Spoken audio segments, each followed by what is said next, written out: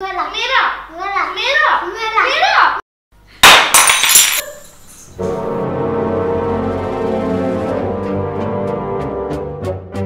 क्या किया?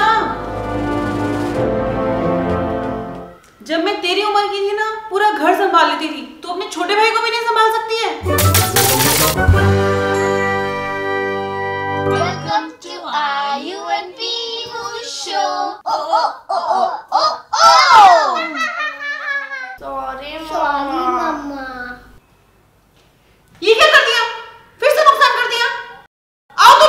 नमः शिवाय।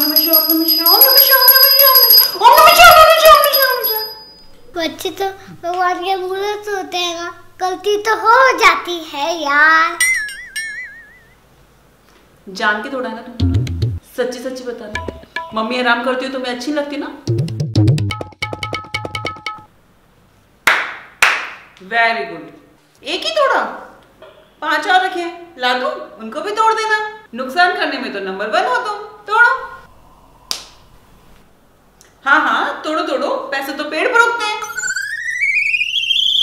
मुझे पहले ही पता था। कुछ नुकसान तो होने ही वाला है। सुबह से मेरी बाई आँख फटक रही है। कर दिया नुकसान।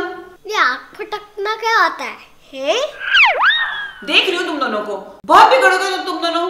आने दे आज पापा को। तुम्हारे सारे कारनामे बताऊँगी मैं आज। कर दिया नुकसान?